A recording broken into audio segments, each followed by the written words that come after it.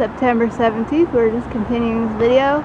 This red-shouldered hawk swooped very dramatically past us, like six feet away, and landed up here. And it's just chilling.